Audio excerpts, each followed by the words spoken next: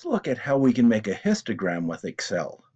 In this example, we have the data from 100 employees indicating things like how many hours they work, their education, their, their income, and their age. Let's suppose we want to create a histogram showing the workers' ages. Now, in order to do this, we need to create a frequency table before we can create a histogram.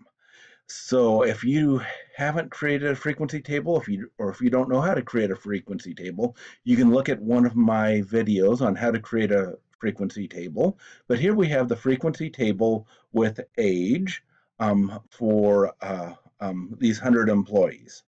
Now what we want to do is we uh, uh, want to um, enter into our cell there and it says pivot table fields. We're not going to uh, change any of the pivot table fields. The pivot table was how we made this. Now something we might want to do is that when I made the frequency table, all the bins were 10 wide, but I said, oh, that looks funny if we say that how many workers from 10 to 19 do we have? And so we changed it to 18 to 19 since we didn't have anybody under 18. But for a frequency, for a histogram, let's change it back to 10 to 19. That'll make all of our bins the same uh, width, and that'll just be a lot nicer.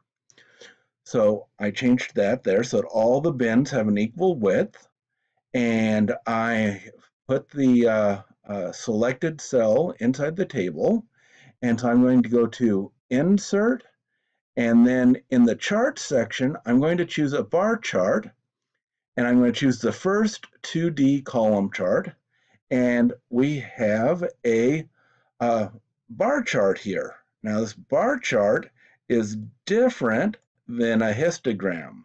You might remember what, what's a what's a bar chart?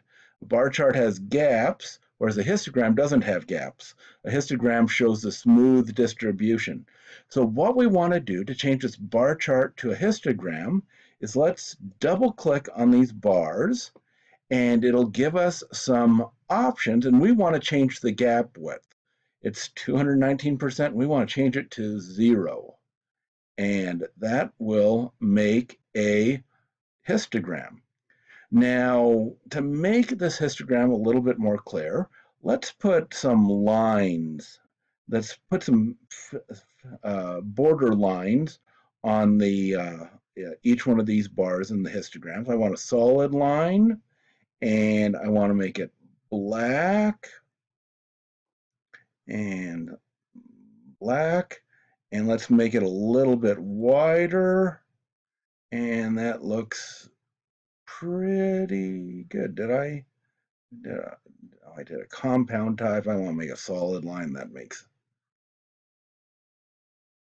hmm What's, well, that's okay.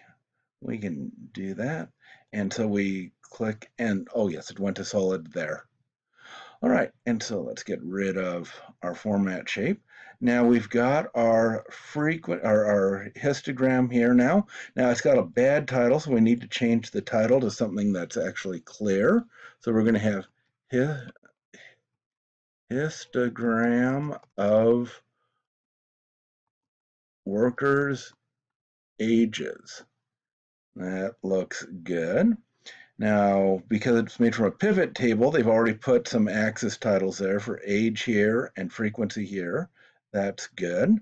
Uh, one thing that we can do is we've got this, this little sign says total there. Let's, uh, that's called the, the legend. Let's, uh, let's just delete that legend actually. And we can do it delete, and there it's gone, and that's a lot clearer because it didn't add anything to us. And so there we've got a good histogram of, let me make it it fits in here a little bit better. Uh, that's a little flat, make it a little taller, and we've got a, a nice histogram of the workers' ages.